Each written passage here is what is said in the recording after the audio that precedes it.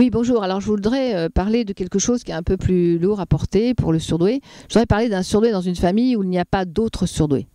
Je voudrais parler d'un HPE, par exemple, qui fonctionne en mode émotionnel dans une famille où, par exemple, il pourrait y avoir éventuellement un HPI, c'est-à-dire celui qui, est sous contrôle de ses émotions et qui fonctionne plutôt en mode intellectuel. Mais je voudrais parler du surdoué en général, dans une famille où vraiment, euh, une famille très cartésienne, où on ne comprend pas le surdoué, etc. Et, et, et, quel est le rôle Quel rôle va jouer le surdoué dans cette famille? Est-ce que le surdoué a un rôle à jouer? Est-ce qu'on lui fait jouer un rôle? Parce que finalement, tous les surdoués disent oui, ma famille me comprend pas, ma famille me déteste, euh, etc. Le surdoué, on sait bien qu'il reste en lien avec sa famille parce qu'il adore sa famille. Je répète, le surdoué adore sa famille. Il reste en lien d'une façon ou d'une autre. Euh, le lien de haine ou de, qui est très mauvais pour le surdoué d'ailleurs hein, peut être aussi un lien même, même s'il est très négatif mais il faut le faut, travailler enfin je veux dire on doit faire ses réconciliations avec la famille même si c'est des fois euh, très difficile et des fois pratiquement impossible. Mais on va rester dans une dans une dans une moyenne.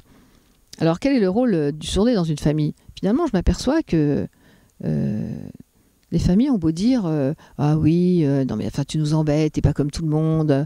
Moi j'avais écrit euh, le surdoué et le grain de sable qui empêche la machine familiale de fonctionner. Vous apercevez que quand vous êtes surdoué vous reculez vous regardez votre famille elle fonctionne super bien. Dès que vous arrivez dedans vous êtes l'emmerdeur qui empêche les choses qui, empêche le monde de tourner de tourner de tourner rond. Alors que vous tournez en rond toute la journée dans votre tête en tout cas.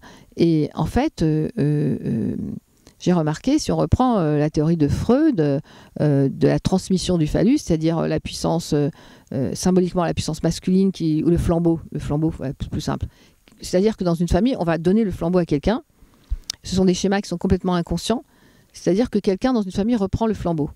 Voilà, c'est comme ça. Alors, c'est des grandes théories, mais pour faire simple, on va rester dans la simplicité. Pour faire simple, c'est un père qui a porté toute la famille, qui est devenu le grand chef de toute une famille, qui, euh, qui transmet, mais c'est pas quelque chose qui est transmis euh, volontairement ni consciemment, mais il se transmet dans une famille, euh, ce qu'on appelle le, porteur du flambeau, voilà, du phallus, mais c'est compliqué, du flambeau, voilà. Et quelqu'un va reprendre le flambeau pour porter toute la famille. Et alors c'est curieux parce que je me suis aperçu que c'est souvent justement le surdoué. C'est souvent le surdoué à qui on dit Mais, qu'est-ce que t'es con, mais tu t'es vu, mais t'es conne, moi t'es conne, t'as vu, tu fais n'importe quoi, mais t'as vu comment tu parles, mais t'as vu comment tu t'habilles, mais t'as vu comment. Ah mais c'est bon, hein. Seulement quand il y a un problème, quand il y a un vrai problème dans une famille, eh ben c'est curieux, c'est le surdoué qu'on va aller chercher. Ça veut dire quoi? Ça veut dire que le surdoué, rejeté, un petit canard, l'empêcheur de tourner en rond, le grain de sable qui empêche le moulin de tourner, euh, ou en tout cas la mécanique familiale, à un moment, il faut quand même que vous preniez conscience, vous les surdoués, de vous repositionner familièrement parlant. Qui porte le flambeau? J'ai pas dit qui porte la culotte. Hein. Qui porte le flambeau?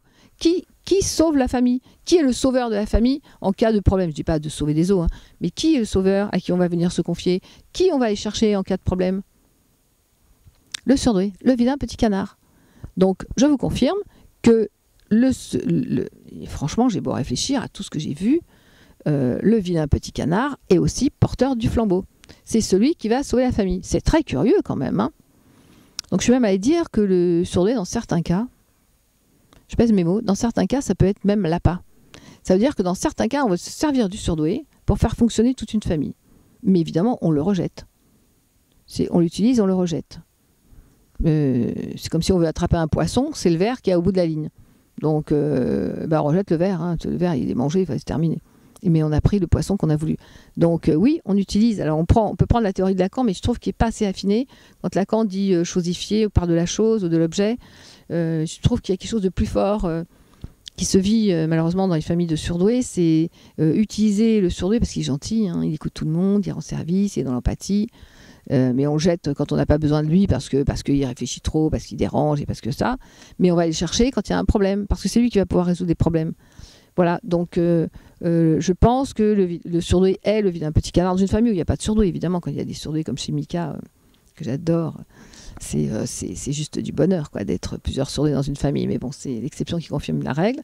Euh, et donc, je, euh, je, je m'aperçois que le surdoué est quand même, entre guillemets, le sauveur de la famille, c'est-à-dire le, celui à qui on a transmis inconsciemment, enfin involontairement, le flambeau. C'est celui qui va sauver la famille en cas de gros problèmes. C'est lui qui va résoudre les problèmes. Alors pourquoi? Bah, D'abord parce qu'il est surdoué et qu'il a cette sensibilité, qu'il a cette empathie. Ça ne veut pas dire qu'il est surdoué, qu'il est meilleur que les autres. Ça veut dire qu'il a cette empathie. Ça veut dire qu'il aime bien faire don de lui-même, qu'il aime bien s'occuper des autres.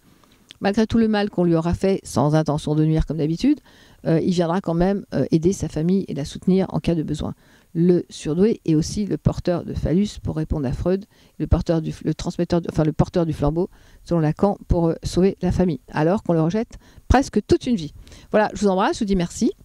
J'espère que ce petit bout de film vous aura plu. Je vous embrasse.